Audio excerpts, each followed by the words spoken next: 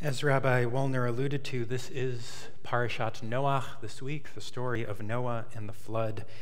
And it is, as I don't need to tell you, one of the most famous stories in all of our Torah. It is, in addition to being famous, also terrifying. The story that we know so well focuses on the consequence, and that is to say, the flood, with relatively little said about the cause.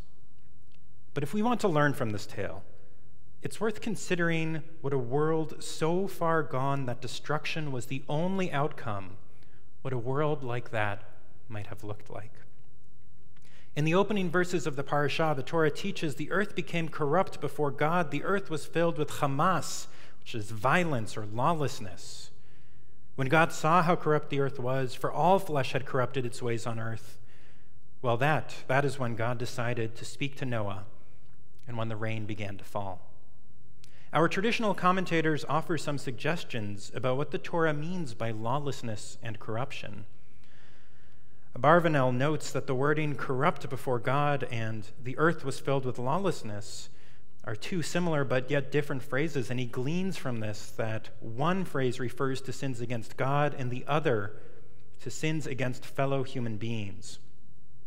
This sinning was compounded, Sforno teaches, by the fact that it was unpunished and thereby multiplied. When the owner cheats the workers, the workers will respond in kind. Bechor Shor teaches the people worshiped power rather than law. The biblical scholar Nahum Sarna notes that Noah is but one of many similar Mesopotamian flood stories but there is one radical difference that sets this one apart. Unlike the Epic of Gilgamesh and others, Noah is the only one with a clear moral component, the only one to ascribe a cause to the destruction.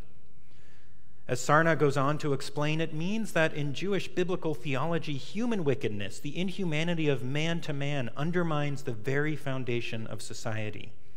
The pillars upon which rests the permanence of all earthly relationships totter and collapse bringing ruin and disaster to mankind. Unlike the other stories, the flood didn't come about on account of the whims of the gods, but as a direct result of unchecked moral decay. Noah was given instructions on building a boat. In our day, in our world, it is not so simple. When evil forces take hold, there are three ways to respond we can ignore it, we can fight it, or we can accommodate it. We are a few weeks away from the anniversary of the nationwide German pogrom commonly known as Kristallnacht, officially known as Reichspogromnacht. I prefer that second word because the other, the one that we are more familiar with, took hold in the aftermath when people saw the shattered glass of Jewish businesses and synagogues and homes covering the streets, and instead of reacting with horror, they reacted with wonder and amazement at the beauty of it all. It looked like the streets were made of crystals. But what did the Jews see? They saw something else. They saw a society that had clearly and unambiguously rejected them. A society that had descended beyond any hope at reconciliation and redemption. Reichspogromnacht in 1938 was when the floodwaters began to roar. Hindsight puts us at a disadvantage because we know exactly what happened next. We know that all the hope was lost and that the only option was to try and get on a boat before the waters rose too high. But the people living through those times in Germany in the 1920s and the 1930s, they didn't know that. All they knew was what was around them at the time. All they knew was the climate was changing, the clouds were coming. Let us keep that in mind as we consider how people responded to these changes. Mein Kampf, Hitler's autobiography, was published in 1925. Despite its widespread popularity, which is no secret, there were many who criticized the book publicly. As just one example, in one review, the author took issue with the claim that Hitler made that Jews contributed nothing to Germany by naming at length German Jews prominent in all elements of society. And after going through the list in the review, he contradicts himself in a way by saying, Why does this even matter? Could a society that for decades was excluded from all progress, education, and culture by the horrible cruelty of the ghetto be blamed if it hadn't brought forth a single person like this? Why does it matter if there are prominent Jews based on the way they had been treated for decades? What would we have expected? And yet, nonetheless, despite that, look at the accomplishments and achievements. The author who wrote this review was Johannes Staniek, a Catholic theologian.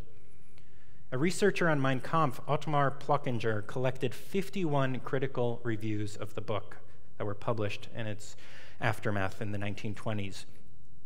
Of those 51 that were critical, only one came from a Jewish newspaper. Rachel Strauss, a physician who emigrated to what was then Palestine, explains We passed by the boxes of the Nazi newspaper. We didn't realize it was one of the most read papers in Germany at the time. We saw Mein Kampf, Hitler's book, on display in every bookstore. None of us Jews, none of us bought it. None of us read it. Evil comes, and if we ignore it, maybe, maybe it'll go away. We know that the words of 1925 resulted in the riots of 1938. But they, they did not know. We know what came after those riots, but they, they did not. We can imagine the conversations.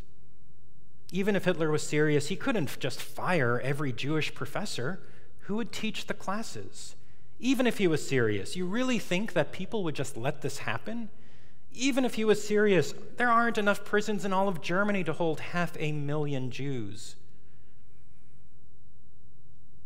we are no wiser than those who came before us. We just know how their story ends.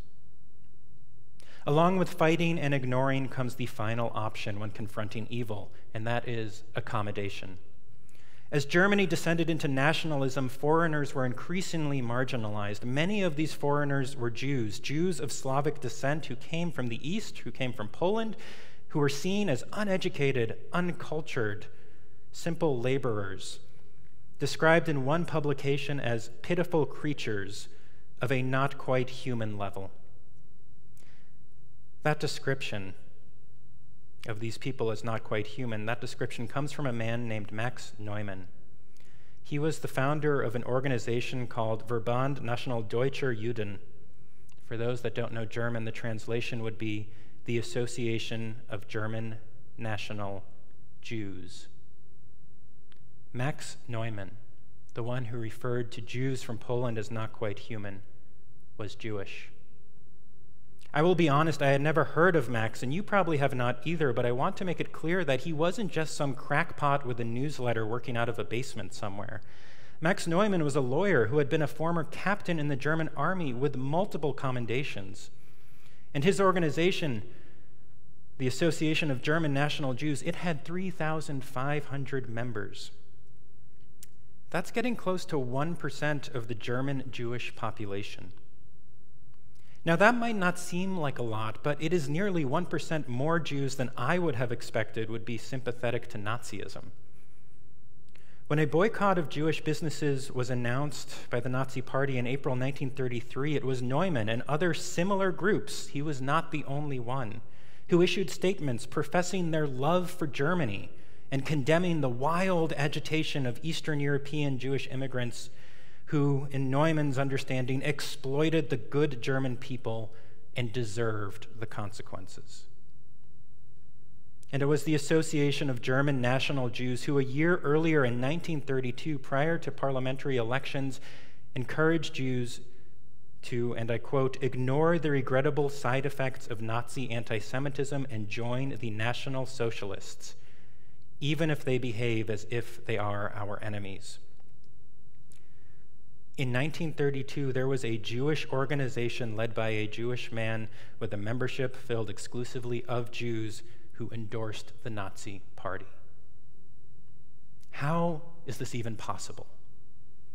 Hans Schoeps, a Jewish historian of religion and a founder of a movement for Jewish children who were rejected from the Hitler Youth, they wanted to be in it, but they were told they could not.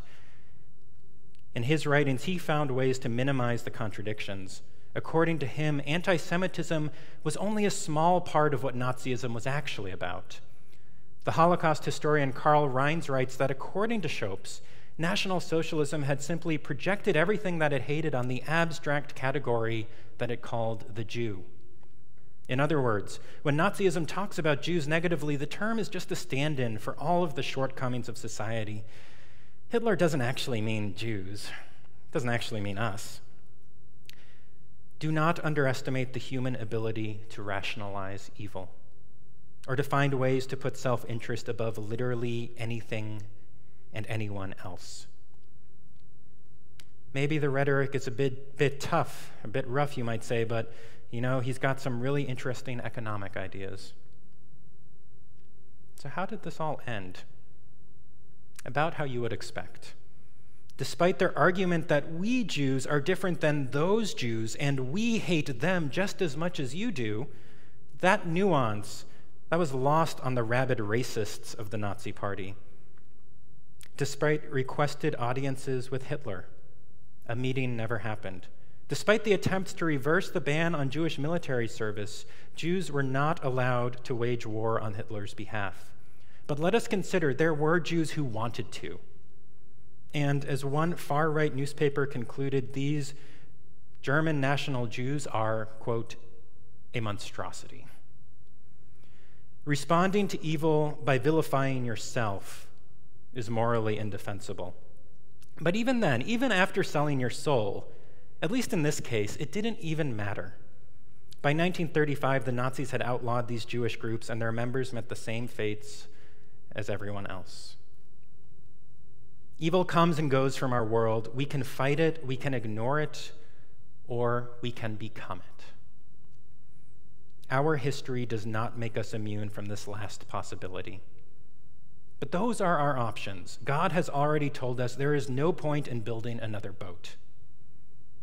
If it's one thing we ought to remember, it's that history warps our perception because we know how these stories end. We know that the man described as a psychopath in the 1920s, who was ranting about banishing people from society, psychopath or not, he did just that.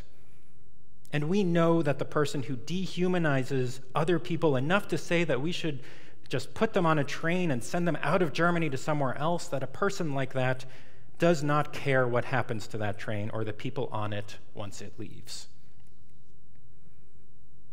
If it's one thing we ought to remember, it's that when someone talks about dehumanizing human beings, we need to take them seriously. There is not going to be another flood there is only us. And when evil comes into our midst, we have three options. We can ignore it, we can fight it, or we will become it. Ken Yehi Ratzon? May it be God's will.